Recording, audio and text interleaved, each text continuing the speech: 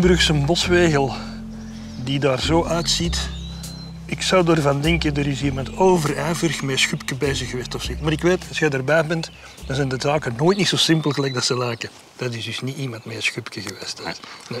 Hier zijn overduidelijk everzwijnen langs geweest. Ah ja? Everzwijnen, die gaan eigenlijk in de ochtend en de avond gaan zij gaan fourageren. Gaan ze eigenlijk hier in de grond engerlingen, eh, aan engerlingen en andere Insect, ja, maar- insecten ja, gaan ja.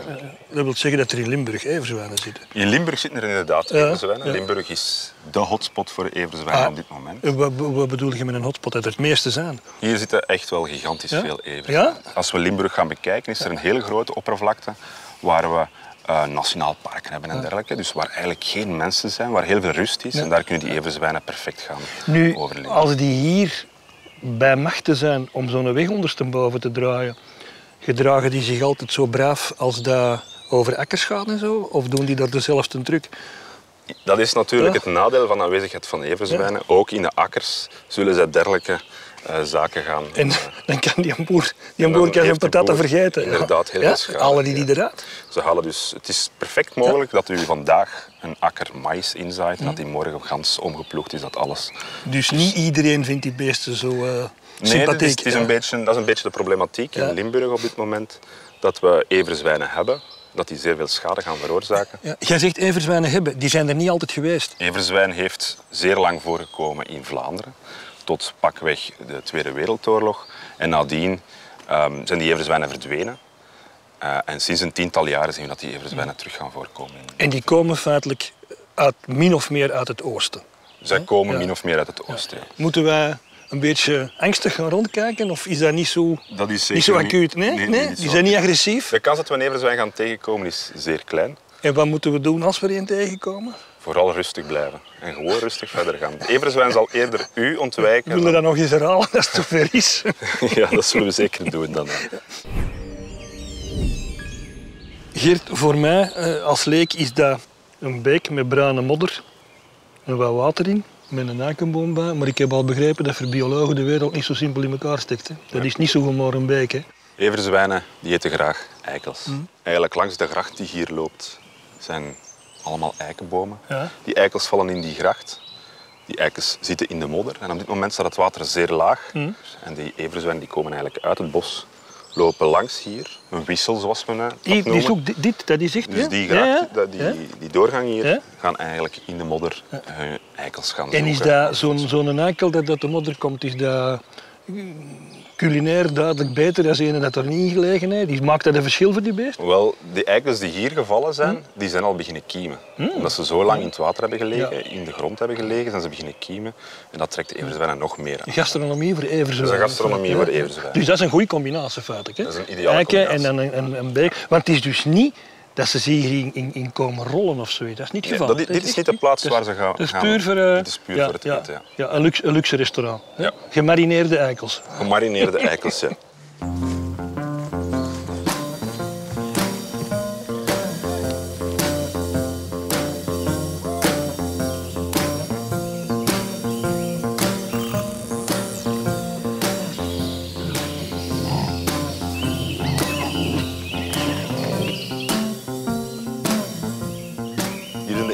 vandaag of gisteren langs geweest. Everzwijn gaat daar gaan baden, gaat daar zijn vacht vol steken met klei, grond, om dan vervolgens eigenlijk te gaan schurken tegen de boom, om zo op die manier van de parasieten vanaf En die beesten wisten feitelijk al heel lang dat modderbaden goed zijn voor de gezondheid. Een heel, een heel chique badkamer. Ja, zij gaan hun Ja. huid goed verzorgen. En waar dat ze dan gaan schuren, kun je dat vaststellen? Wel. Of is dat... Kijk Jan, hier is zo een schuurplaats. Ah, ja. Hier zien we duidelijk dat het everzwijn of everzwijnen ehm, zich hebben komen schuren tegen de boom. om- Dus feitelijk die, die roestkleur dat erop zit, dat Ja, is dat is- dezelfde kleur die je in die beek ook terug is inderdaad zo. Zeggen die, die gaten, wat is dat? Wel, om hun, hun eh, hoektanden eigenlijk, die bij een everzwijn uitsteken, eh, om die gaan aan te scherpen, dan gaan ze eigenlijk hun, hun eh, tanden eigenlijk in die boom gaan slagen. Dat is echt een heel badkamerverhaal.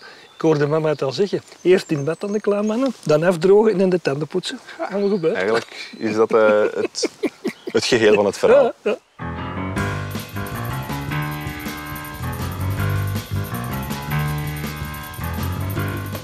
hebben nu uitgebreid heel het relaas gehoord van het leven van de everzwijnen.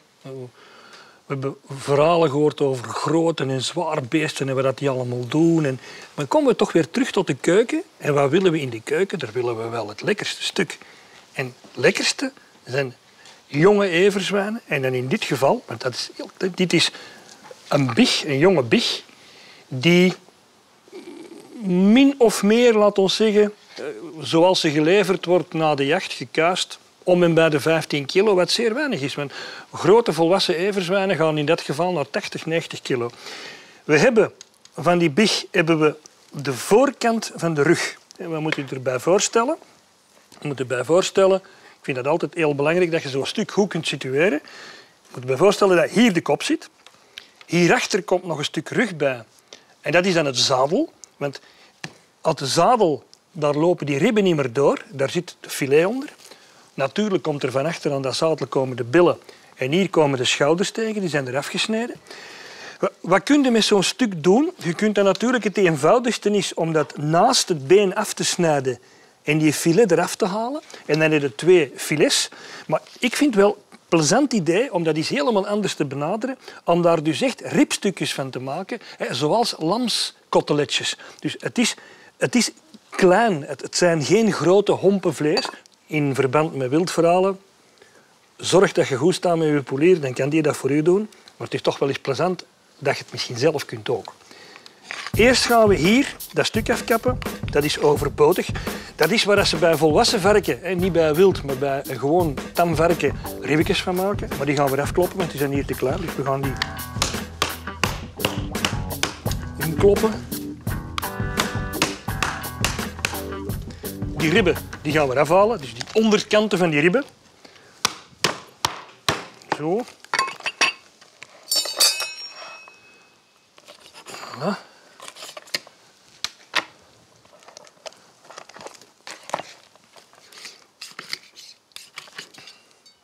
En dan, in principe steekt elk beest hetzelfde in elkaar. Gaan we tegen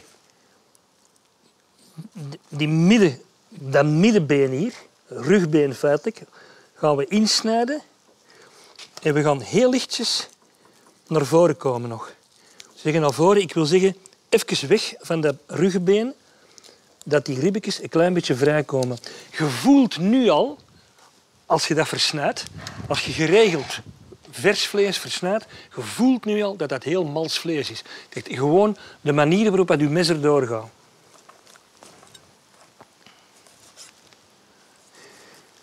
Nu, het is ook echt niet zonder belang, zeker bij everzwijnen en dergelijke, is dat van veel belang hoe oud dat die dieren zijn. Als je werkelijk naar volwassen beesten gaat, dan moet je al goed weten van wie dat je koopt en hoe dat die beesten verwerkt zijn. Anders heb je daar wel minder aangename smaken in. Zo, we kappen die eraf. En we doen hier hetzelfde.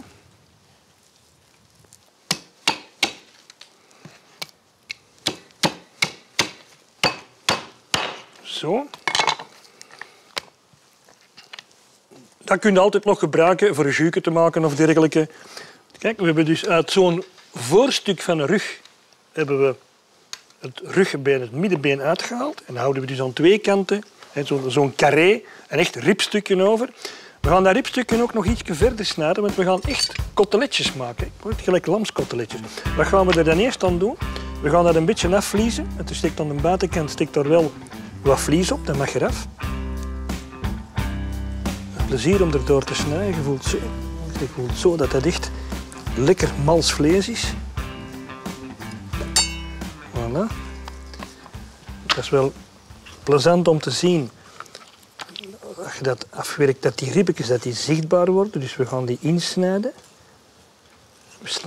Steken we eerst zo even tussendoor. En dan aan de achterkant snijden we die uit. Nogmaals, dat zijn dingen die je kunt laten doen door je polier. Maar als je graag met eten bezig bent, dan is in feite het basiscontact met het product is van veel belang. Het is dat daar zelf ook veel plezier aan beleven als je zoiets van in het begin doet. En dat je weet, als je ergens zo'n stuk kunt kopen, wat je ermee moet aanvangen. Kijk, zo zie je die ribbetjes mooi komen. Kijk, en dan gaan we al afsnijden wat we gaan nodig hebben van ribbetjes. Kijk, dat is echt, als je dat nu zo ziet, dat is een klein ribbetje. Dat is niet groter dan een lamskoteletje. En dat is vlees dat amper donkerder is. Dat is dus amper roze-rood. Terwijl dat een volwassen everzwijn, dat is donker vlees. Dat is zwaar donkerrood vlees. We gaan er nog zo'n paar koteletjes afsnijden. Kijk, dat hebben we klaar liggen. Dus ons rauw afgesneden everzwijn koteletjes. We gaan dat heel, heel erg op zijn daad doen. We gaan everzwijn prepareren. We gaan er een beetje zuurkool bij maken. En we gaan daar, je zult zien hoe we dat gaan doen, op de laatste moment nog een touch van mierikswortel. Typisch, typisch hè, voor meerrettig. Typisch voor de Duitse keuken. Meerrettig, mierikswortel, dat feitelijk onze eigen Europese versie is van wasabi. Als je dat zelf probeert en geproefd dat, dan vraagt u ook dikwijls af waarom dat wij dat uit de Japanse keuken moeten gaan halen, terwijl we zo'n product hebben dat er feitelijk even lekker is in onze eigen keuken. Wat hoort daar zeker bij? Dat is een beetje stomp. We gaan aan onze choucroute werken. Er zijn verschillende mogelijkheden. Dit is een choucroute die al lichtjes gegaard is. We gaan daar een beetje worteltjes en uien door doen. Er wordt in Duitsland en vooral in Oostenrijk zeer veel gedaan. En dat geeft zo, laten we zeggen, niet alleen iets meer kleur, maar ook iets meer smaak aan uw choucroute. Zo, een beetje een uitje.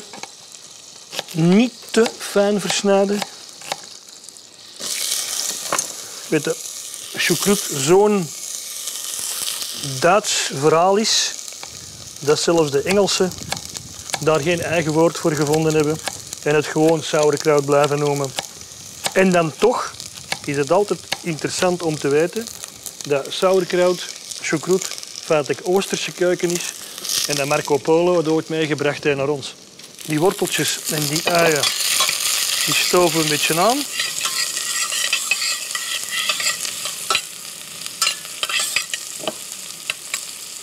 Hebben we hier, wat ik al gezegd heb, een half gestoofde zuurkool. Wat is het verschil? Te zeggen, rauwe zuurkool, dat is dus de zuurkool die feitelijk alleen maar een gistingsproces heeft ondergaan. Wat dat er ook wel lekker in is, maar dan moeten echt naar zuurkoollanden gaan of gespecialiseerde handelaars. Dat is dat daar, wat dit is de fijne snit, dat er een grove snit in bestaat ook. En dat is wel lekker. Dan heb je echt veel meer het, het koolgevoel. Want uiteindelijk is zuurkool is een bepaalde soort van die lange witte spitskolen die er een beetje uitzien gelijk een rugbybal die bij ons niet worden geplant omdat wij geen zuurkooltraditie hebben. Maar bijvoorbeeld in de Elzas eh, worden die volop gezet en de mensen maken daar zelf hun choucroute. Worteltjes, uitjes, een beetje aangestoofd, zuurkool erop. Even laten opkomen, een klein beetje bouillon erop. Ik heb gewoon een beetje een neutrale kippenbouillon, meer moet dat niet zijn. Ik wist dat dat niet te veel indroogt. Zo. We zetten die onder deksel we zetten die even opzij. We gaan er wat spekjes bij doen. We blijven helemaal in de, de keuken van onze oosterburen. Spek, worst, hè, sauerkraut, schwein. Moet er allemaal bij. Hè. Zo.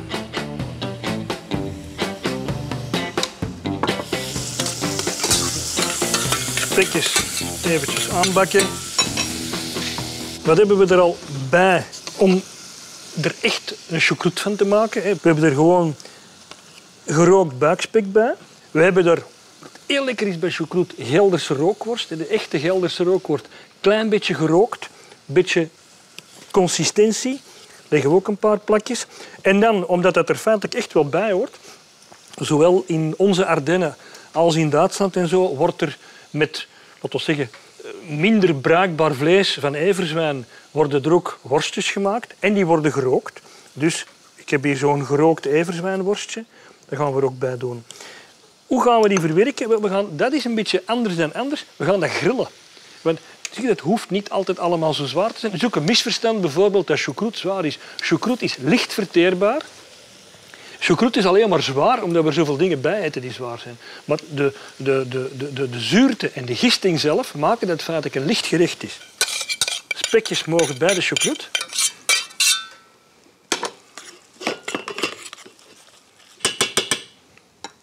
We hebben hier ons koteletjes klaar liggen. We hebben een stukje gerookt buikspek. We hebben Gelderse worst. We hebben gerookte everzwijnworst. Alles wat we echt nodig hebben om een echte wildchoucroute te maken. We hebben ons grillpan erbij. Grillen waarom? Omdat dat zeker de dingen niet zwaarder maakt.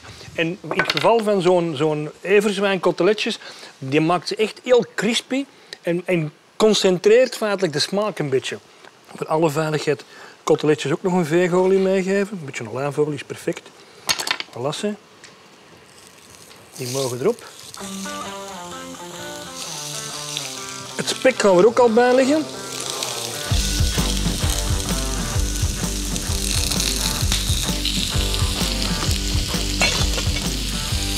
Koteletjes mogen al eens gedraaid worden. We zijn toch de moeite doen om ze te grillen.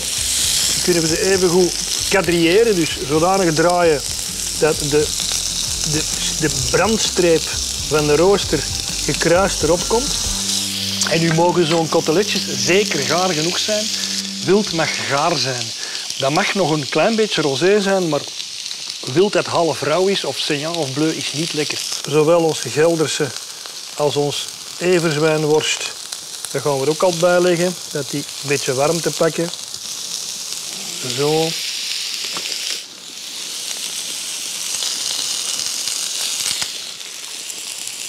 Dan op die koteletjes al een klein beetje grof zout doen aan de ene kant en een beetje peper. Die andere ingrediënten, daar hoeft dat niet. Die zijn klaargemaakt, gezout en gekruid. Zo'n worstjes en zo'n spek. Dat is allemaal ontbakken.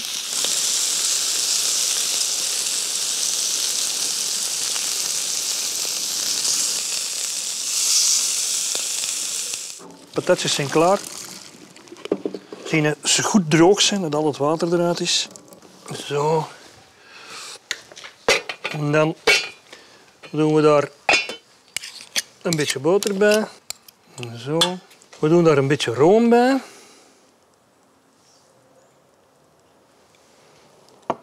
Zout. Een beetje peper bij.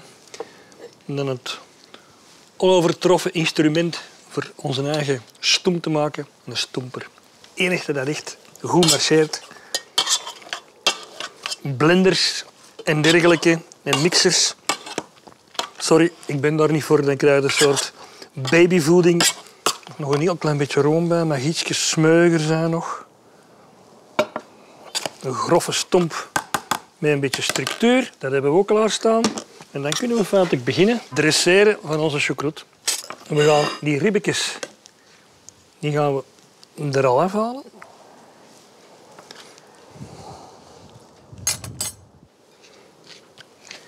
Hebben hier een pasta van merikswortel, een soort crème. Nu, merikswortel, uiteindelijk, zoals het woord het zelf zegt, is een wortel met een zeer pikante, frisse smaak. Er is zeer goede pasta of een soort crème op de markt.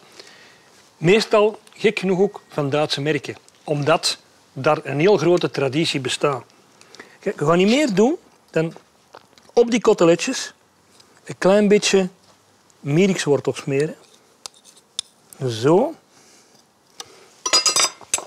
En dan gaan we niet te gecompliceerd op een bord leggen. We zorgen dat er voor iedereen wat spek en worteltjes bij zijn, ook al verzicht. Een beetje stomp. Koteletjes met de merikswortel die komen onderaan. Zo. En dan de charme van zo'n choucroute, dat zijn die sidings, hè, die stukjes gerookt spek. En dan zo'n stukje Gelderse worst gegrild. Een beetje everzwijnworst. Als finishing touch. Gewoon zoals we normaal mosterd zouden bijgeven. Klein tikje mierikswortel erbovenop. We halen nog uit de choucroute een heel klein beetje jus die we hier tussen lepelen, dat moet niet zichtbaar zijn, maar dat is gewoon voor die choucroute een beetje vochtig te houden.